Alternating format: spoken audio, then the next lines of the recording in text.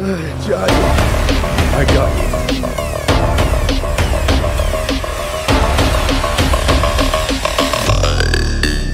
It's neurogenic shock.